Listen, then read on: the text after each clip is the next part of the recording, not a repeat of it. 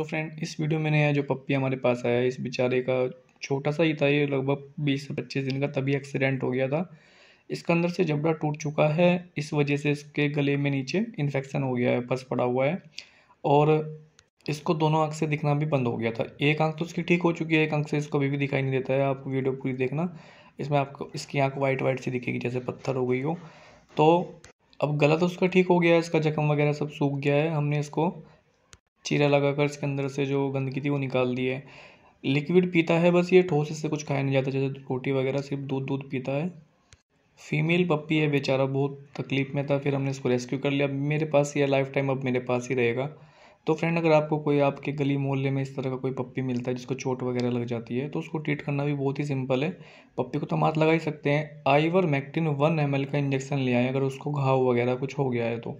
उस इंजेक्शन को सीरीज़ में भर लें और एक से दो बूंद, बस एक से दो बूंद उसके जख्म पर आप टपका दें, अगर मैगेट्स वगैरह पड़ गए हैं। तो उस आइवरमेक्टिन से तो उसके मैगेट्स वगैरह सब मर जाएँगे और आप उसको हर दो तीन दिन बाद दो तीन बूंद टपका सकते हैं। इससे ज़्यादा यूज़ नहीं करना है, क्योंकि ये इंजेक्शन जो है 20 से 25 किलो बॉडी वेट को एक एम दिया जाता है तो बहुत ही सावधानी पूर्वक करना है।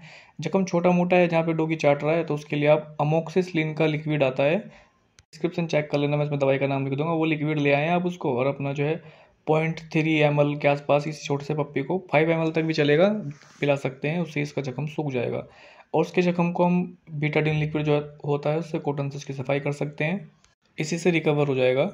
आईवर मैक्टिन जो इंजेक्शन मैंने बताया, वो यूज़ नहीं करना चाहते आप, पेट में जो कीड़े हो जाते हैं ना, उसके लिए जो दवाई आती है आईवर मैक्टिन एल्बेंडाजोल मिक्स आता है, वो दवाई से भी सारा जख्म सूख जाता है, वो ले आए आप डिवॉल्विंग के लिए मेडिसिन होती है उसका भी प्रयोग कर सकते हैं। आप उसको अपना पिलाएँ, उससे इसके जख्म के सारे मैगेट्स मर जाएँगे जिससे सारा जख्म भी सूख जाएगा। वीडियो में थोड़ा कन्फ्यूज़न सा हो गया। अगर आपको कुछ समझना है तो आप मुझे कमेंट करें, मैं आपको अपना व्हाट्सअप नंबर दे दूँगा। पर छोटा पप्पी का थोड़ा सावधानी पूर्वक इलाज करना है। फ्रेंड इन सभी एनिमल्स की हेल्प करें, इनको खाना दे, मारे मत।